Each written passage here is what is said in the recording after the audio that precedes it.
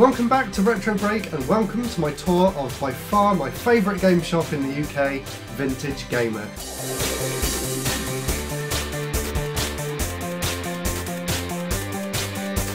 If you didn't see it last week, I did a pickups video from there, and this week I'm going to go into loads of detail, every little nook and cranny in the shop I'm going to explore and share with you guys here right now, so let's get straight into it.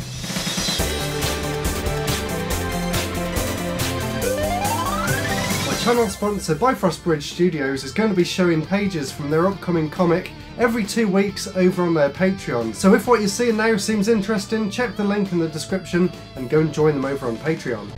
And now let's begin the tour by first taking a look at this cabinet here which was right at the front of the shop. There's some really cool stuff on the top there which we'll get back to in a minute, but first let's take a look inside. You can see some Atari Lynx and some Atari Jaguar games there, as well as a really cool ZX Spectrum 3 Plus on the bottom. We also have a 32X on top of that Mega Drive there.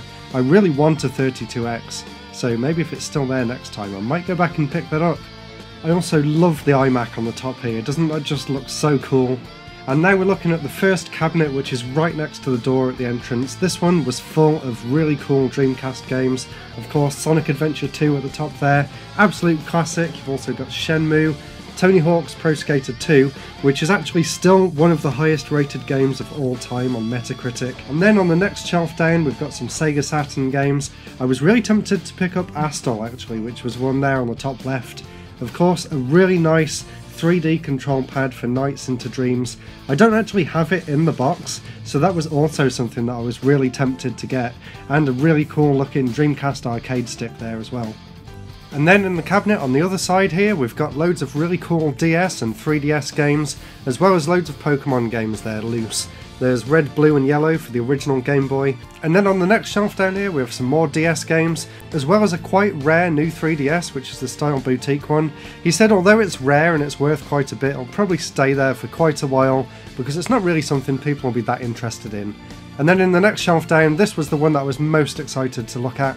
As you can see, Biomotor Unitrons up there, as well as the Smartcom, and I did pick both of those up, so take a look at my pickups video that I did last week if you want to see my thoughts and opinions on them. And then at the bottom here are a load of NTSC GameCube games, which is really interesting to see. You don't usually come across American games in UK stores that often. And now we're going to spin the camera around to take a look in another cabinet that was at the other side of the entrance here. This one had a lot of really exciting things inside. We're starting off by taking a look at a few boxed N64 games. You can see some really great games in here. Mystical Ninja Starring Goemon, Pokemon Snap, uh, Super Smash Bros., Ocarina of Time, Banjo Kazooie, all of the classics. And on the next shelf down, you've got a load of really great SNES games as well. They even had Super Mario RPG and Earthbound there on the American SNES, which was really cool to see. You never really see those in UK shops either. And then on this next one down, there was some Game Boy selection here. Some really great games for the Game Boy there, as well as some of the Konami collections. I kind of wanted to pick them up, but if you saw my last video, you'll know that I already spent a lot of money, and hopefully some of this stuff will still be here the next time I go and visit. Loads of really, really cool stuff on this shelf as well, including some Japanese games. There was a Game Genie there as well. And then on the bottom here, there's the PC Kid game that I picked up on the GameCube. Behind that, there was a Mr. Driller game as well for the Japanese GameCube uh, Twilight Princess HD, and then on the left of the entrance here we have these two shelves here, and there's another shelf just to the right of this which I'll show you as well in a minute. On here you have loads of boxed NES games, so let me know if any of these NES games catch your eye. There were some really great games there, and some great SNES games as well. And then on the shelf next to that you have PlayStation 1 and PlayStation 3 games and it was really difficult to get footage from this because you can't really tell from here but all of these PS1 games were double stacked so that means you could take the first row away and there was still a whole row of completely different games behind there as well. So I'm sure you can see how I can spend hours and hours in this shop just looking through the incredible amount of stuff that they've got on show. And on the next shelf over we have double stacked PlayStation 2 games. There was loads of great games on here, let me know if you spot any really interesting ones. And then further up on the shelf here at the top we have some PlayStation 3 games. Once again let me know if you spot anything interesting. And of course even the drawers underneath were full of games. Here you can see this one was full of PlayStation 1 and PSP games as well. I did actually pick up some of those PSP games but I forgot to show them off in the last episode. And now on this shelf here on the other side of the room we have some N64 games, some Game Boy Advance games, and Game Boy Original and Game Boy Color. These were double stacked as well and unfortunately I didn't get to show what was on the back of these ones. And before we take a look in the next room there was a few other cabinets around here. Unfortunately the lighting wasn't very good down this side of the room so it's a little bit grainy but hopefully you can still see the games okay. There were some Mega CD games in there. I, my eye was particularly drawn to Night Trap at the back. I'd love to get that one day. There was also a boxed Game Gear there, as well as a few Saturn and 32X games. And then on the bottom here, we have something really interesting. We have some Amiga CD32 games. I don't really know anything about the Amiga 32 at all, so let me know if there's anything interesting there that you'd like the look of. And then in this shelf here, we've got some PC Engine games and Doom on the 32X back there. I would love to get Aeroblasters. I've got Side Arms there on the PC Engine. The next one down was a bit of a random one. It had some Xbox and PlayStation 2. And then on this side, we've got some really good Mega Drive games in here, including Ristar and Zero Wing, two brilliant games. Sonic and Knuckles with the cardboard box in good condition, surprisingly. Dynamite Heady there as well, ToeJam and Earl 2, uh, Virtua Racer, loads of great games in here. Mega Bomberman, I was quite tempted to get that as I don't actually have Mega Bomberman for some reason. And then here we are, here is the most amazing room in the entire shop. This one is just full floor to ceiling of PS2 and PS1 games. There's a few DS and 3DS games at the top as well, but just look at this insane amount of PS2 games here. It could you could easily spend all day just looking through this room if you liked your PS2 games. As you can see, these are all double, sometimes triple stacked as well. It's just insane. There's so many different games here. You could probably find every game you're possibly looking for on the PS2, mixing the games in here with the ones in the cabinets outside as well. So have a quick look at all the games that are on display here. Let me know if anything catches your eye.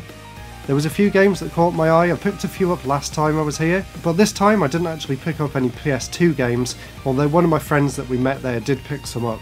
So let's take a look and see what games catch my eye from this selection before we move on. So Super Bust-A-Move, that's something I've always wanted for the PS2. That's got a hilarious front cover by the way. If you ever see Super Bust-A-Move, have a look at the front of that. And as for games I'd be interested in, let's have a look here. SSX3, that's a fantastic game. You've also got, I saw Juiced 2 at the bottom there. Puyo Pop Fever, I picked that up on the GameCube, but I saw the PS2 one there as well.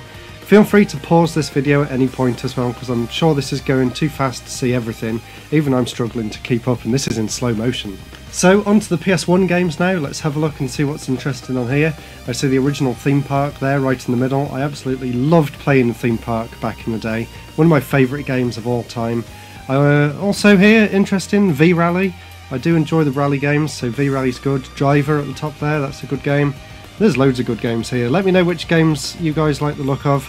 It's going too fast. Civilization 2, I didn't know that was on the PS1. That'd be interesting to see how that plays compared to the PC version. Alone in the Dark there at the top. Shadow Man, that's another great game. I loved playing that on the Dreamcast back in the day.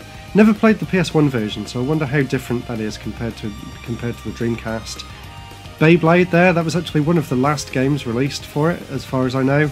I can see Ecco the Dolphin and Crazy Taxi there on the PS2. Great games. I saw Ridge Racer Type 4 in the corner.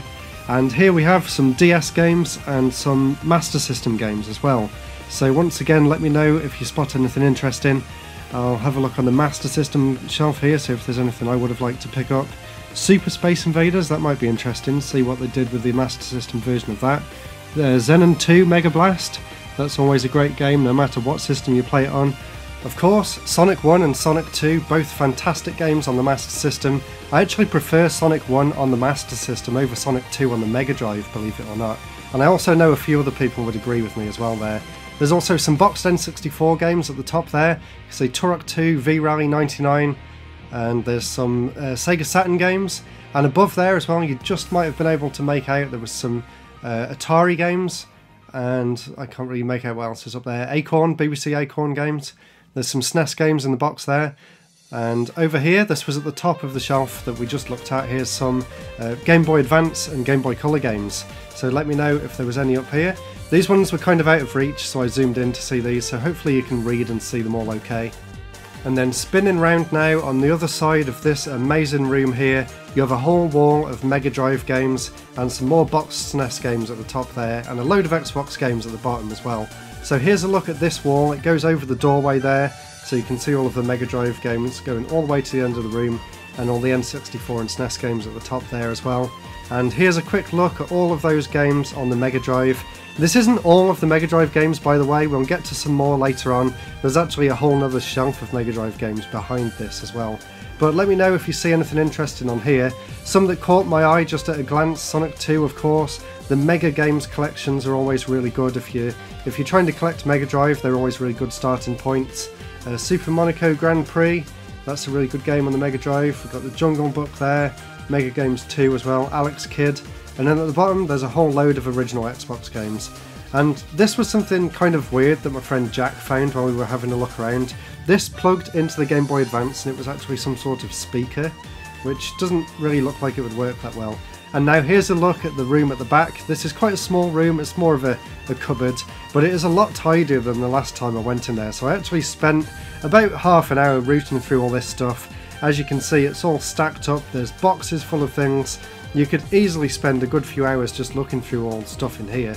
They had loads more PS1 games, so if you were looking for PS1 games, you can see there's so much here.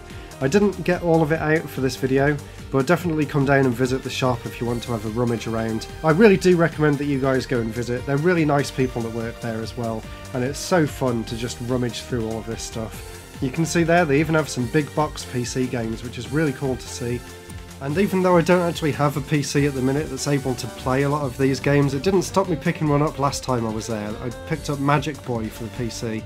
And on the other side here, you can see in these plastic boxes, there was loads of cassette tapes for different systems and some PlayStation 3 games there as well.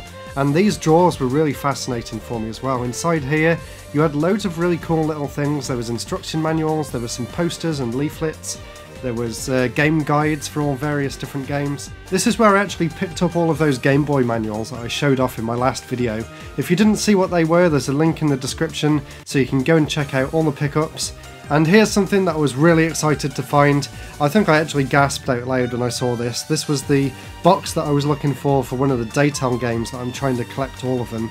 And they actually gave me this completely free of charge as well, and I could not thank them enough for that. That was so nice of them. There you can see me put it on my stack over there. That's something else that I do whenever we go to the shop. We always make a stack at the counter and then just ask them to add it all up while we're looking around.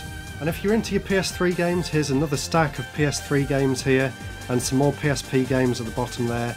And here's the Game Boy manuals that I picked up while I was there. You can see there was actually more than the ones that I picked up, but I actually just got the ones that I actually needed for my collection. I could have been greedy and picked up the whole lot, but I thought I'm just going to get the ones that actually mean something to me. And then in the top there, there was a few other instruction manuals and random bits and pieces. And here's some more big box PC games. There's some really great ones there. There was the theme park one there, I actually had that one as a kid. Let me know if any of you watching collect big box PC games, that would be interesting to know. And in this drawer here was full of Atari 2600 games. I do have a 2600, but for some reason it won't turn on anymore, so I'm looking to try and either get that fixed or to get a new one at some point. And then there's some more games stacked up there. And then in these boxes here, I didn't actually look through those. And then we come back out of that room now and take a look into this corridor here and the first shelf we're looking at, this is what I was saying where the rest of the Mega Drive games are. So let's take a closer look at what was on these shelves here. So we've got Rise of the Robots, an absolute classic game. I'm sure everyone will, will agree that's a 10 out of 10 game right there. Michael Jackson's Moonwalker in the top though, that one is a genuinely good game. There was also Micro Machines 2 Turbo Tournament, one of my favourite 16-bit games. Let's see what else is here. Quite a few that I haven't played before actually. There might be a few that I'd be interested in picking up. I heard uh, Megalomania is pretty good, so let me know what you guys think of that one. There's The Lion King, that's a good game on the Mega Drive. Ecco the Dolphin, of course, a classic. Uh, six game cartridge, I think that's the one that used the light gun for. And of course, once again, all of these games were double stacked as well, and unfortunately, I didn't get footage of what games were at the back, but that's even more of an excuse to come down and check this out for yourselves, just to see what else was there. So on this next shelf down here, let me know if you saw anything. Ecco the Dolphin Tides of Time, the sequel to the original, that's a good game. I see Taz there, that was one of my favourite games back in the day, and the original Micro Machines in the corner. And then on the shelf next to it, we have another load of Master System games as well, and a few more big box PC games at the bottom there. I would love to get Strider on the Master System, I kept seeing that one pop up. Also, the Mickey Mouse game I saw there as well, they're always really good on the old Sega consoles. and the Mega Games collection for the Master System too. I don't actually have the Mega Games one, and there was Transbot there as well on the bottom right. A lot of people really love that game. And at the top here there were some really nice boxed systems as well, including some Mega Drive 2s and an original Mega Drive. And there's even more boxed games and systems on this side, including a Master System, some controllers, the Power Base converter, the SG Pro Pad, which is by far my favourite controller for the SNES, and then over here we have a Sega Saturn joystick, two of them actually, the Japanese one and the European one, and there was a Commodore 64 in the box that I saw there as well. And this is the shelf on the other side, and this is all Japanese games. So we have some Japanese PS2 games there, and on this shelf we have some Japanese Mega Drive games, and a whole load of Japanese Dreamcast games as well. And the great thing with Japanese Dreamcast games is that they have Japanese on one side and English on the other. So if you're ever looking at games like this, always turn the games around, and then you'll be able to see what the English names are. There was also some 3DO games there, and some more Mega CD games, and then a whole load of PAL Dreamcast games on this shelf below. I picked up a few of them which I showed off in last week's episode. I think they were already gone by the time I filmed this. And then at the bottom there there's some PAL Sega Saturn games. Nothing too exciting. I mean, I've already got most of the good games for the original Saturn now, but if any of these caught your eye, let me know. There seems to be a lot of Virtua Fighter there and a lot of that Sega Victory soccer game as well. Virtua Cop, that's pretty good. Manx TT Superbike, that's one of my favourite racing games. There's some good games there. There's also a Dreamcast keyboard and some more big box PC games. X uh, Rally X Miles add-on, that's actually one that I had as a kid. My dad used to love playing that one back in the day. And then at the back of the shop here we have some more games in boxes at the top, followed by some GameCube and some Wii games, and some boxed Game Gear games in the corner there as well. So let's take a closer look now at some of the GameCube games that we can see here. There wasn't anything too exciting there on the GameCube, and the same with the Wii really. I did pick a few Wii games up that I just needed for my collection. There was something good there if you haven't got one, that freeloader. That actually lets you play games from any region on a PAL machine, so that's really useful and there's also some DS games down there as well. Just a lot of shovelware really, I didn't really get any DS games jumping out at me, unfortunately, because I was hoping to get some good DS games. There's some more Wii games there. There are some good games there, but unfortunately the games that I've got left to get are quite few and far between, so I managed to pick one or two up that I was really happy with, and then here's some more GameCube games on the other side. Once again, it is getting quite difficult for me to actually buy GameCube games these days because I think I've already got all of the good games that aren't like either shovelware or just games that were really badly reviewed at the time. There's also quite a lot of the same game from what I've noticed here as well. So let me know if you spotted anything interesting here on the GameCube or on the Wii. And then we have some more Atari games here. I don't really know that much about Atari games, so let me know if there's any games I should be looking out for in the future. And then there's some Game Gear games there. Again, I don't really know that much about the Game Gear. And then there was some CDI games down there. You don't see those very often. I didn't actually get a good look at them. Maybe next time I'm in the shop I can take a better look at some of them. And then in this cabinet here, we have some rare PlayStation 1 games, all of the Final Fantasy games there in that side, and then we have some really rare and expensive PS2 and 3 games in this one. So take a look at these. There was a really cool Resident Evil chainsaw controller. Of course, I always want to get that. Maybe one day. And then on this side, we have some Wii U games and some more Wii games. I wasn't exactly sure why these Wii games were in the cabinet in particular because they don't really seem to be anything special. This was quite cool though. This is the Bayonetta 2 Special Edition for the Wii U that comes with this really nice box. So maybe that was something I could have thought about getting. And then you come inside the shop now, you can actually go behind the counter. They're very kind and actually let you come back here and have a look at all the stuff as well. So you can see on the wall there, there was loads of SNES and N64 games. And then on this side here, they have some more rare PS1 and PS2 games. I did pick up some really good games from behind the counter as well. I saw Midway Arcade Treasures there on the PS2. That is a great set of some arcade games that Midway did back in the day. And then there's some more N64, SNES, uh, Master System, Mega Drive. Basically, every system you can think of is on this wall here. And they're all really good prices as well. They do really good prices on all their games. So I did spend quite a bit of time back here just picking a few games up off the sides here and putting them down on the counter. Definitely go and check out the shop if you ever have the chance to. Thank you so much for watching, I really hope you enjoyed it. If you really enjoyed it, please consider checking me out on Patreon to join all of the amazing people at the bottom of the screen right now. That's it for this episode though, so I'll see you all next week for the next one. Goodbye.